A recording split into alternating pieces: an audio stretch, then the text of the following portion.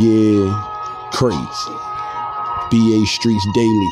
Yeah, and I want, I really want to shine light on Isaac Hicks because Uh-huh. he's a great man, Yeah. and he, uh, he needs to, and he needs to be recognized. You know what I'm saying? As a great one. You know what I mean? Okay. He was a good Hey, dude, yo. and he laid the pavement. If it wasn't for no ice, a lot of this Hey, shit yo. they, they, they, Uh. they doing now, they When I was in the streets, becoming a witness of working for the police was just something we didn't normally see.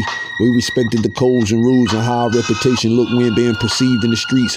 But now it just seemed like it's a slow leak on everyone team. But they always said it'd be a right hand man and cut off your feet all over a brawl because he want me to share a bigger piece. But sometimes it just be jealousy because all my plans work and he failed at all three A, B, and C. That's why some prick their fingers promising blood if it ever come to this. It's certain death to serpents in my circumference. My shooter's young, so if I send him early, you won't even worry. You would think he's just some kids walking to the bus stop or something. Till they stop and bust shots right up on you. I taught my boys not to trust a woman. Only love them when you're getting your dick sucked the fucking. Most be lying and don't want nothing but money.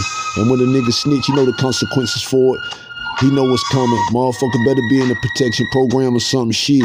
He knew when he signed up for this that if he ever went against the street codes that exist, everything he know can come to an end. Double crossing gonna cost you to get your front door kicked in, nigga.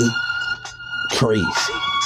The last time Isaac Hicks got in trouble with the law, it took a SWAT team to get into his house.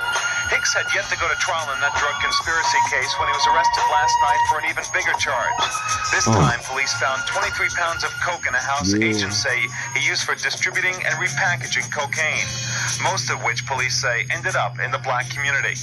As far as DEA is concerned, uh, Isaac Hicks is one of the major distributors of cocaine in uh, one of our communities here in uh, South Florida. But Hicks had friends in high places as well.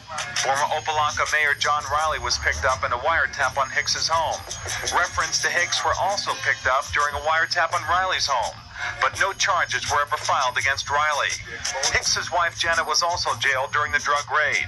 She and two Hicks associates, one James Sawyer, a man police call the boss man, are charged with possession with intent to distribute cocaine.